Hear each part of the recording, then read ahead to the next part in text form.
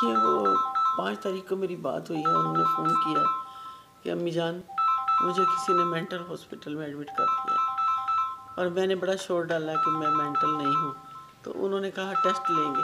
अभी वो टेस्ट लेंगे। उस वक़्त वहाँ की रात थी, यहाँ का दिन था।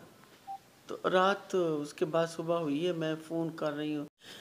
मुतालबा नहीं है, अपील है कि वो मेरी मदद करें और मेरी बेटी को बाजियाब करा के पाकिस्तान में भेजें क्योंकि वो ही इस वक्त मेरी मदद कर सकते हैं। और कोई चारा चा, चारा नहीं है जब मैं और किसी से मदद मांगूँ और वही कर सकते हैं।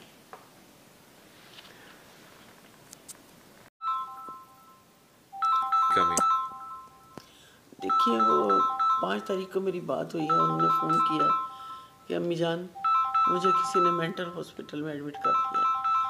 और मैंने बड़ा शोर डाला कि मैं मेंटल नहीं हूँ। तो उन्होंने कहा टेस्ट लेंगे। अभी वो टेस्ट लेंगे।